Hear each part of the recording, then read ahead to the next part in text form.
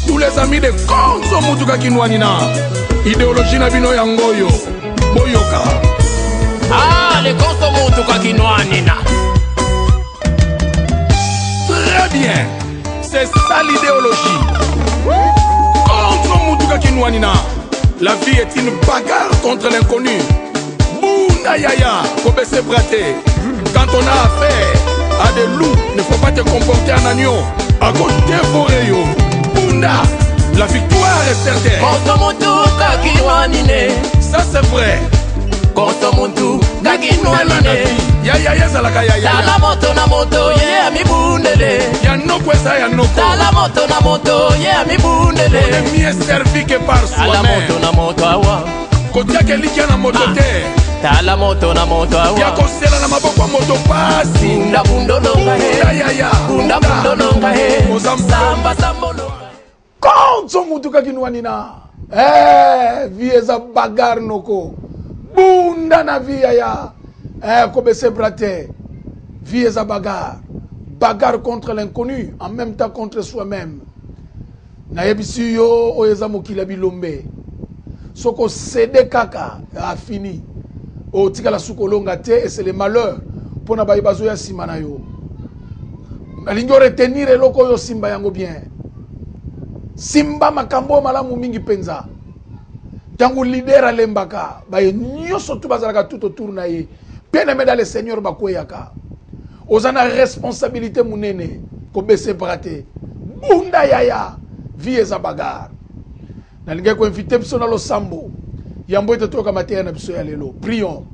Seigneur de gloire, yo oza Nzambe. Nkembo eza ya yo, lokumu eza ya yo. Oyo elingi yo Nzambe na bomoi ekokisama kati na bana na bato. Na kombo na Yesu Klisto, Nzambe Tata, Nzambe na solo, tobondelaki yo Seigneur mpe tolobi amen. nalingi ozwa biblia na yo na mokanda na genèse na chapitre 4 tozotanga texte oyo tosi totanga voilà Tobandi à partir, il y a verset 9. Genèse 4 à partir à verset 9. L'Éternel dit à Caïn, où est ton frère Abel Il répondit, je ne sais pas. Suis-je le gardien de mon frère et moi Alors Dieu dit, qu'as-tu fait La voix du sang de ton frère crie du sol jusqu'à moi. Maintenant tu seras maudit loin du sol qui a ouvert sa bouche pour recevoir de ta main le sang de ton frère. Quand tu cultiveras le sol, il ne te donnera plus sa richesse. Tu seras errant et tremblant sur la terre. Caïn dit à l'Éternel, le poids de ma faute est trop grand pour être supporté. Tu me chasses aujourd'hui loin du sol arable. Je devrais me cacher loin de ta face. Je serai errant et tremblant sur la terre. Et si quelqu'un me trouve, il me tuera. L'Éternel lui dit, si quelqu'un tue Caïn, on le vengera cette fois. Et l'Éternel mit un signe sur Caïn pour que ceux qui le trouveraient ne le frappent pas. Puis Caïn sortit de la presence de l'Eternel et partit habiter dans la terre de Nod à l'est d'Eden. Bien aimé dans le Seigneur, nalingi olanda nga encore une fois na attention ebele. Tozo continuer mateya na biso wapi epai tozo parler na tina etali l'innocence. Lobi Tolobelaki na ntina etali ete bato mingi bazokufa na bango malgre leur innocence koze na barelation oyo bazokende koyebana kosala na moto oyo ye ayambaki na ndako na ye alukeli ye problème na moto oyo ye amemaki na motuka alukeli ye problème bien aimé dans le seigneur Na likambo oyo ayebeli ntina te. Nayebi mutu arata prison azoya na ye mosala amoni mama moko na mwana na ye bakotelemisa transport transport ezotelema te na mawa wana amemi bango bazalaki kokende hopital na debonome Bien aime bakomi na nzela mama wana kati motema kufi. Tata oyo reflexe esali adwi oyo ezalaki mutuka baluli amemi dossier na oyo ezalaki la police tala ka ekomi na memaki mama oyo akufi na nzela. Eloko nanu ya liboso fale ba entendre ye. bien aime ebandi nanu kolia ye temps yazo kende musala nalobi na yo ekomi ke fo azala wana pour des raisons d'enquête moto asova ye eza mwana moto alobi ke te tata oyo asalisi nde biso ka ya mama mikomelaki deja grave depuis butu Bien aime nde na boye capitaine apesi ye toli alobi na ye mbala nsima kosalaka yango te oza ambulance te olingaki okende prison obiki bien ke na monoko abiki bien aime dans le seigneur mai abiki na papier duplicateur falaki afuta oyo ezali mbongo na yango epai nde okende koyeba na kocomprendre devant l'etat ke fei moko ya duplicateur ekokute mpe 20 dollars mai ya biki ekozwa yo 30 dollars ata komanda ayebi yo akodevie yo akotika dossier pa yo peji apesi instruction oyoka azoyebisa yo peji solola kaka bien aza mosali na nzambe boyebi ye te eh? lembisa makambo na yo wana zwaka kaka oyo azoloba wana yo ozoyeba te kesi apesaki consigne ozokanisa komanda azosalisa yo nzoka rien aide yo te yango wana yesu aboyaka na ye pilate aluka ede ye yesu aboyaka mpo moto aza komplike mpasi na biso yango wana ndeti bilongi oyo ya biso oyo ozoteya na teve pastere ozosalisa biso osunga biso mokokoma quelque part olingi osomba eloko mutu wana signale ke no esho beta ye esho alekaka na teve aza na mbongo ebele me teve yango ozoleka kutu ya pasi otanga nkombo ya zakari bababaswe merci education sous problème opona nini ozotanga nkombo na ye tolingaka nini finalement moto oyo ayoki mawa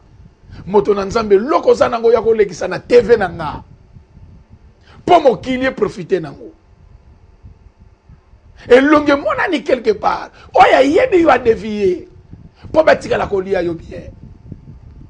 yango so oza no na mposa kosalisa ngai te na vie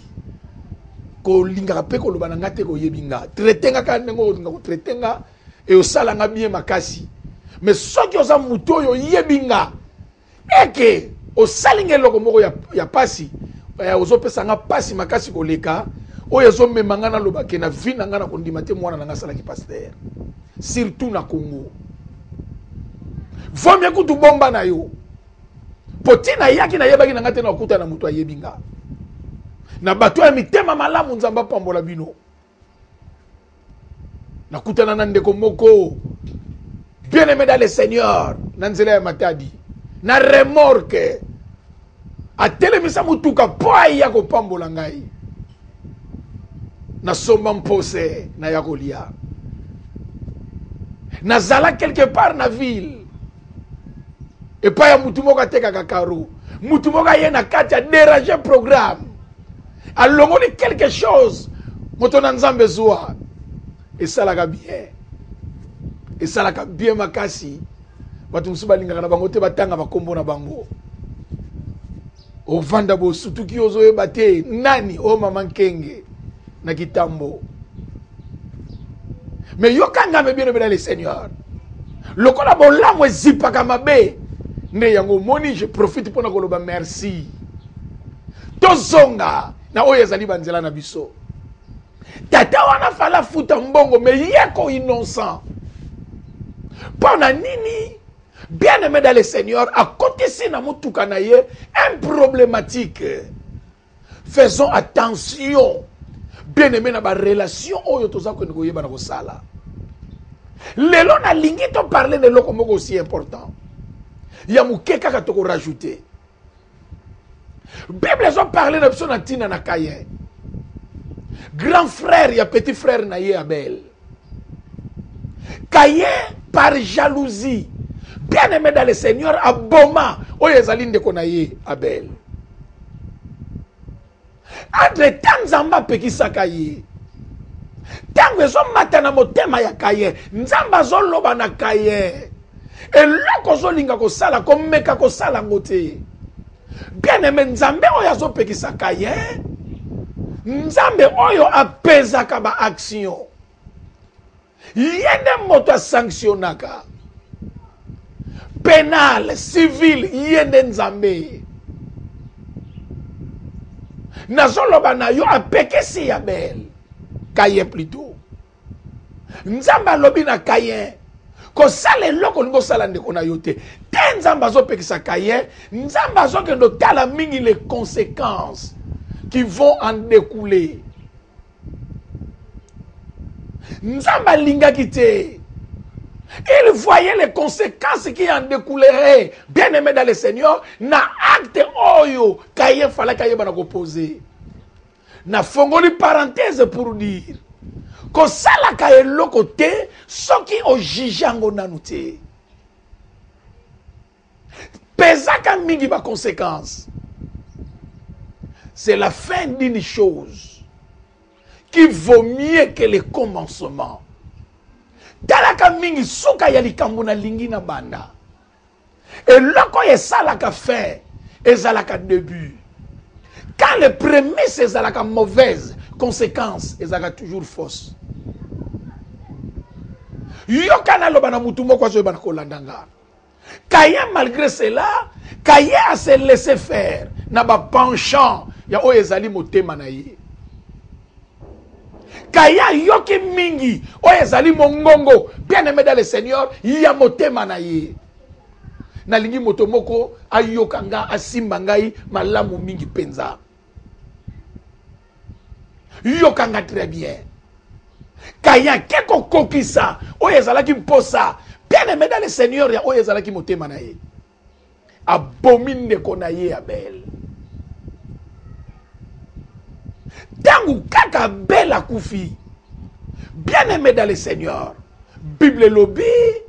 nzambe azotunaka ye ayelukaka ye mpo na koloba na oyo ezali kaye Kayen, eloko nini oyo osali? Makila ya ndeko na yo Abel egangi wuta mabele te epai na ngai. Probleme na yo eza ngai kutu te. ngai nasalaka kaka nzambe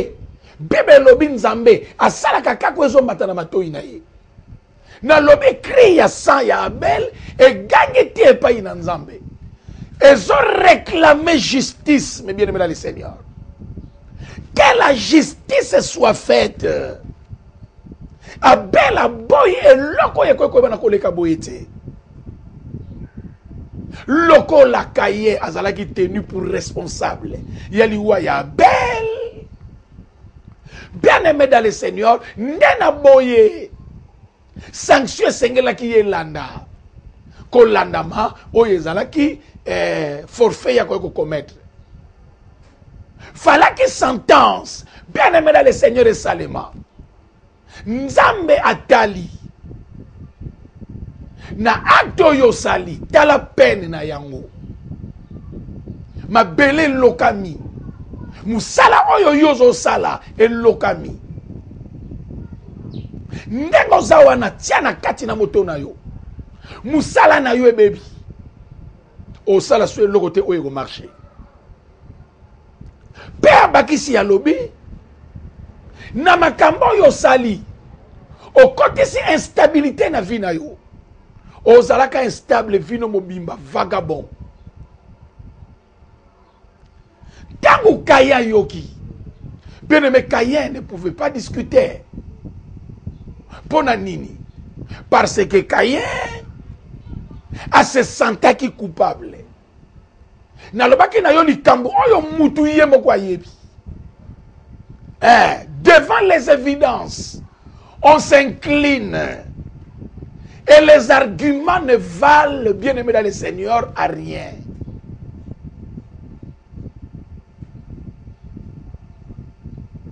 devant les évidences, nul n'est tenu. On doit s'incliner. kaye abandi korepete bapasi na ye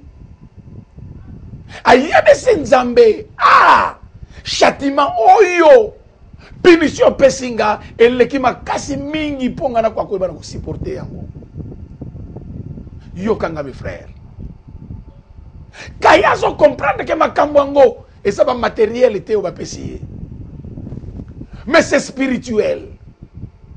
kaye azo comprendre ke eza charge monene oyo ngai nazwi na vi na ngai nakokoka te kosupporte oyo ezali charge oyo kaye ye moko avandi asali baanalyse moto na semence ya nyoka bien aime avandi asali baanalyse kaye alobi na makambo oyo nyonso tu oyo elati nga na nzoto konsekansi na yango moto nyonso tu oyo akomona nga aboma nga or nzambe azalaki kozelela yango bongo te mais une chose est vraie na makambo oyo kayi asali conséquence na yango baentraîne bien aime kotalaka kolokama te malédiction ezalaka nango malédiction eloko ya mpasi ezalaka malédiction te mais baconséquence ya malédiction baentraîne ya oyo ezali malédiction bien aime dans le seigneur nalingi osimba ngai oyokanga malamu mingi mpenza nazoloba na yo kaya comprendre que makambo oyo nyonso ekodebouche sur eloko oyo eloko nini nakomi persona non grata partout oyo ngai nakokende bakoluka koboma ngai bien aimé dans le seigneur kaya tali kaye oyo aza na comprehension rapide ya ba choses de l'esprit epai oyo problème evandeli biso mibino mela le seigneur eza nde yango bato mingi tosambelaka même problème sérieux que nous avons bien aimé dans le seigneur yokanga malamu bato mingi baza na maîtrise te ya ba choses de l'esprit yesu alobi toa na misu me tokoki bomona te la lecture claire ya ba choses de l'esprit bien aimé bato mingi baa nango te oya kaka e eh, dadi aza na miso bamoure ta ndenge atalelaka bato aza amoure wana moto aza na makoki ya koyeba ke no dadi aza amoure mais mpo asala lecture ya vie na ye acomprendre ke basigne nazomona eza malamu te bato mingi bazosutuka kosutuka kaya comprendre ke nakokende na ngai nzambe obengani nga lwa ya face na yo me kayen lokola naza nanu awa dans ta présence seigneur kaya comprendre ke fo na profite na ngonga wana bebe elobi profite pendant que vous en avez l'occasion Kaya comprendre que je dois profiter dans sa présence. Avant Nami Longuela. Pour côté na kokende, j'irai seul. Loboko na Nzambe kozana ngai te. Nde abandi kolakisa na Nzambe ke tala makambo oyo bakoboma nga. Nde Nzambe azwi maloba. Alobi te. Moto ya koboma yo. Aozala venger cette fois. Mais Nzambe asukisi yango wana te. Bien aimé dans le Seigneur, comme conclusion, na Nzambe à comprendre Caïn. Bible elobi Nzambe alongoli signe ya liwa oyo ezalaki na Caïn. Elembo oyo elingaki kosala que partout ye akokendaka bato bazala na mposa ya koboma ye c'est spirituel nzambe alongoli signe combien de personnes mes bien aimé dans le seigneur oyo batambolaka na basigne ya liwa non nini kaye alingaki koyeba na koloba mpo na ndeko na ngai abele j'accepte punition opesi eleki kilo me nandimi yango je me sens coupable me kote ngai nakokende nakoboma nani nakosala nini porke a tout moment moto nyonso akomona ngai alukaka kaka koboma ngai a chaque jour suffit sa peine nasali mabe epai ya ndeko na nga tu ma pini o oh dieu je l'accepte me epai ya onga nake eza vie ya sika nake kobanda pourquoi kaka fo baza na likanisi ya koboma nga entre temps je m'assume nandimi kopirige pene na ngai bien aimé kaye savait défendre son innocence auprès des autres mpo na abele oui ndenge kaka job alobaki na 27 kobanda verset 1 tina 6 alobi tant que azo respire aotikala jamais kopesa motu moko raison moto moko azwa raison na likambo oyo ayebeli ntina te alobi loin de moi l'idée ya kopesa bino raison bien aimé omoni moto oyo alobaka trop e abota na libala wana totala e abonga totala na likambo oyo oyebeli ntina te oyo ye alobelaka ntango nyonso kozwaka libala na ye ozwa ngo ebandela wapi me moto mosusu akonganzama yo pa justifie oyo ezalaki faiblesse na ye echec na ye akoma kotambola na nkombo no na mbebo aussi longtemps ke yo ozoreleve defi te yoka nga mon frère mama yoka nga ozopesa ye raison bato nyonso baloba omoni yo aa na raison e aza na raison omoni depuis aboma libala ta ndenge akoma koniokwama aza nde na raison moto anga aa na raison entre temps yo oyebi rien pasteur na yo mpa yo outa fongola monoko asaka mabe likolo ya bomoi na yo pour des choses que toi tu ne maîtrises même pas oyebi na yo te or yo soki otiki makambo ye aloba esalama opesisi ye raison bato bakolobake oui bapreuve sont là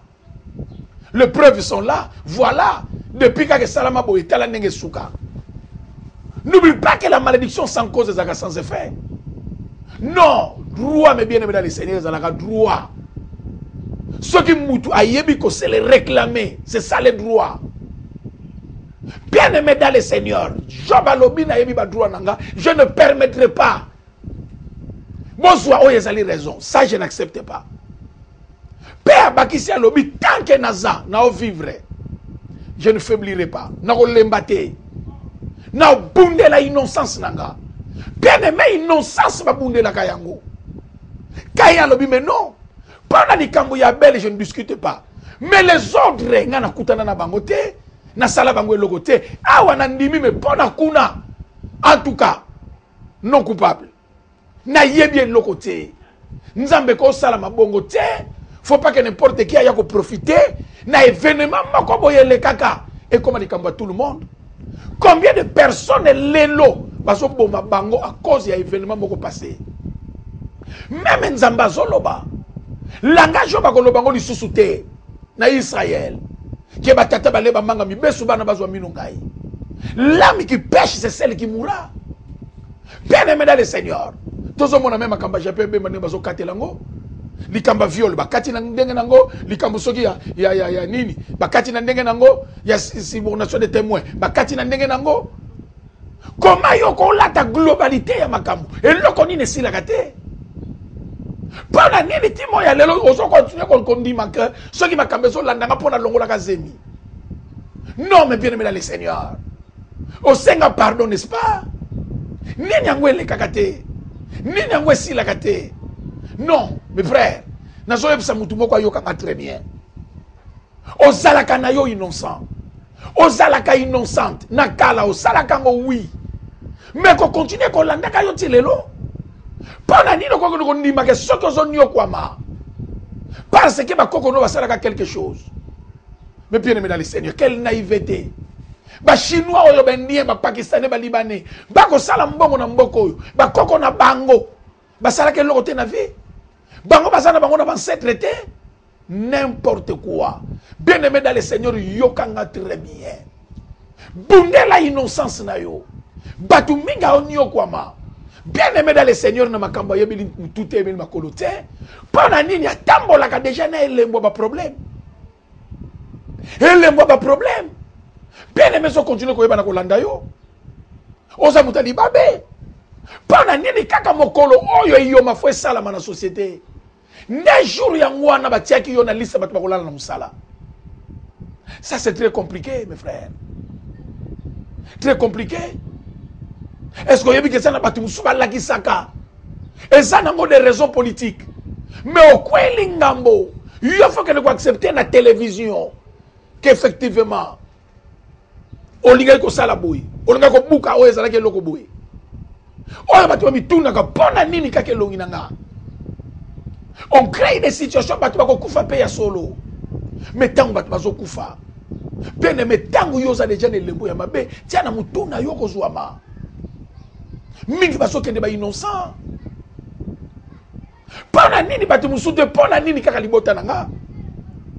mpo na nini nga kaka moto fo na perdre pour ce grand congo pourquoi pas les autres non mokili oyo eza compliqué bien aimé dans le seigneur nous avons le fort en esprit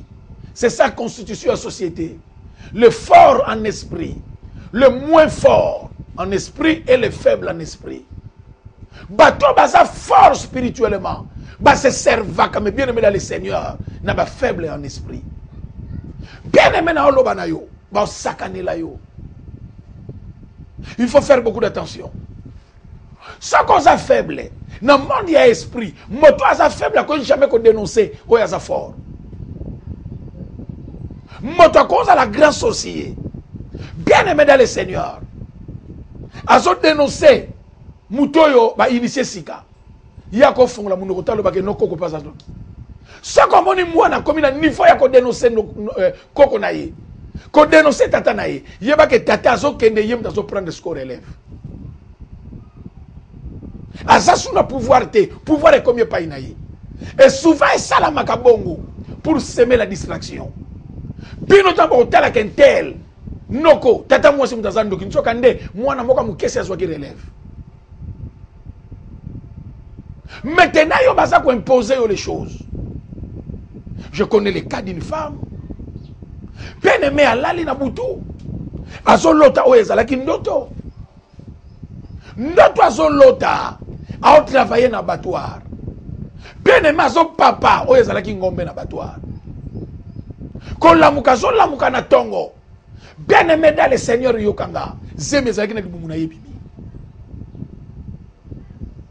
alela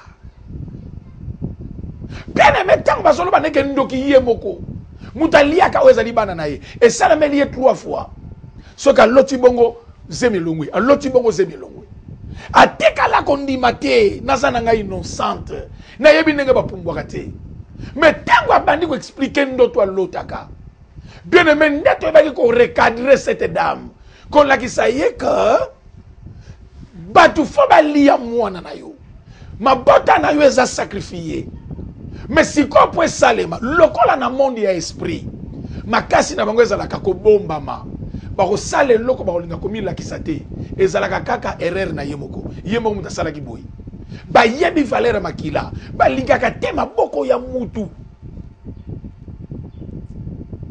esimba makila mpo bayebi ke makila eza makasi baosaloge je nini baosala yo yango omoni bakamataki mama wana basimbisi ye mbeli ye moko abomaka bana na ye telema aza faible akoloba non te pere ne faut faire beaucoup d'attention bato bakendeke mpa nganga bao sengo nzungu yaka na mbeli yaka na soso yo ozo comprendre rien nzoka nde oyo wana ozomema bainstrument oyo yo kobomela mutu bakosenga yo nganga simbaka te alobi nozwa mbeli elongi ebimi ya nani oyo ya petite sœur ale tuba tu yo ndo bomi ye oyo kozala kovandi ozo regrete après à vrai dire yo angani te mais basali yo je lokola oza faible ba utiliser yo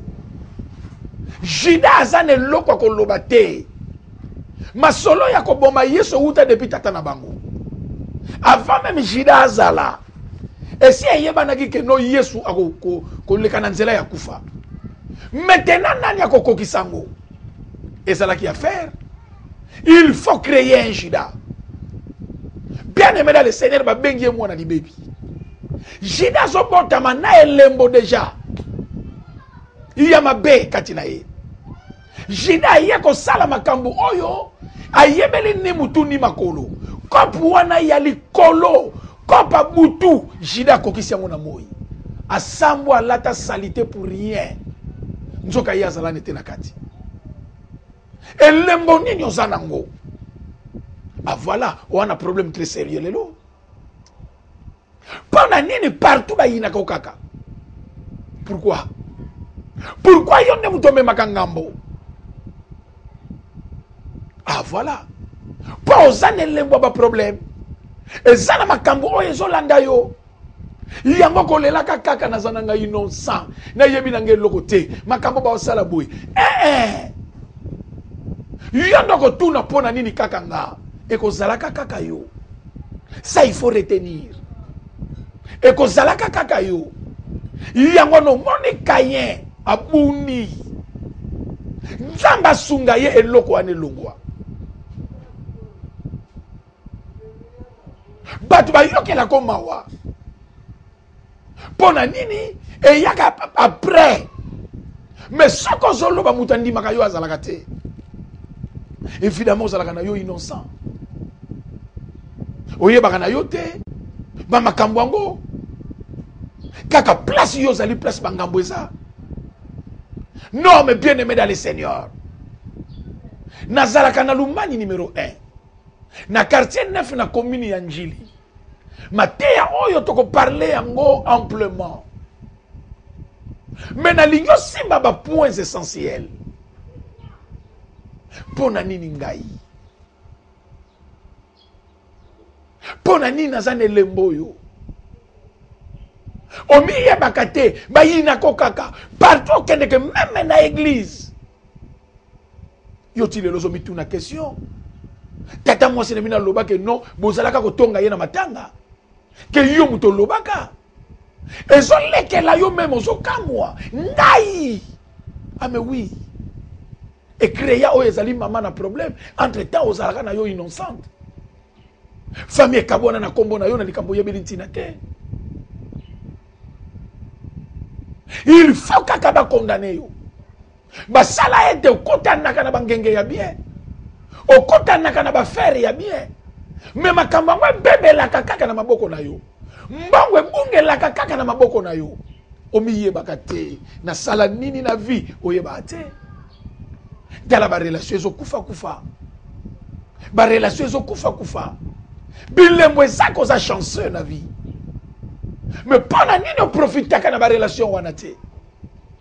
makambu na makambu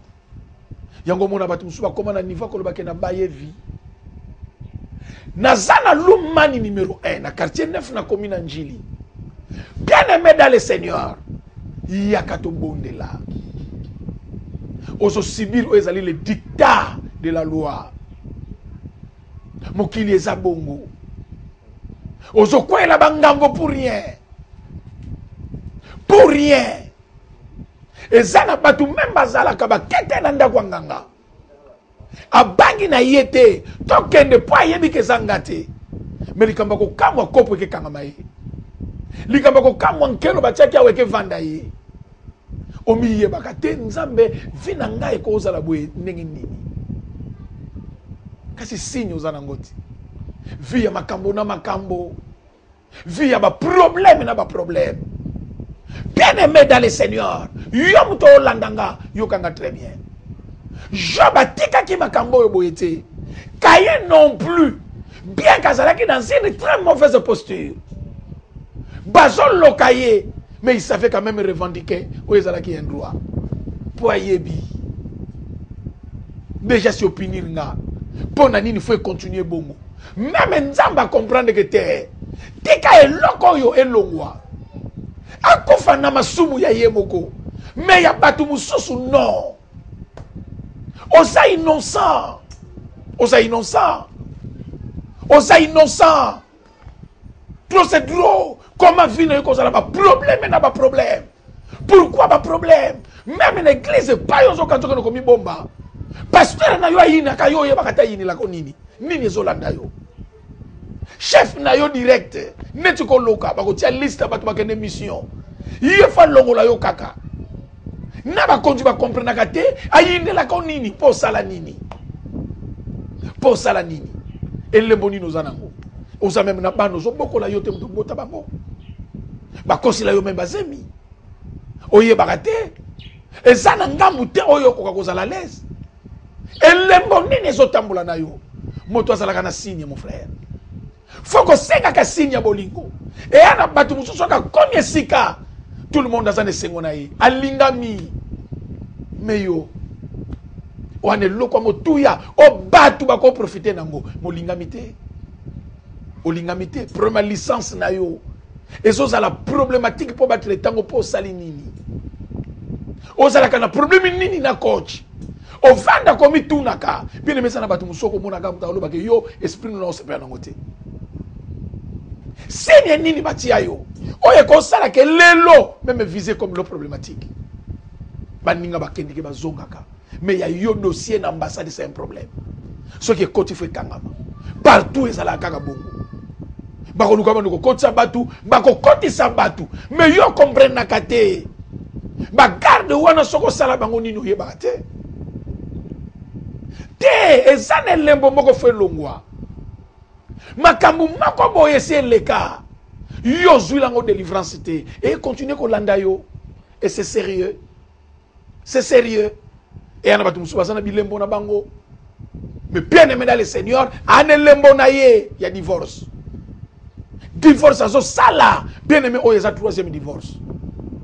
telema eloko wana elongwa te ekolaka yo bien aimé ya risque yango mona bato mosusu abala sute na vie otangi bana combien nayebi moto aza na 5 enfants 5 mibali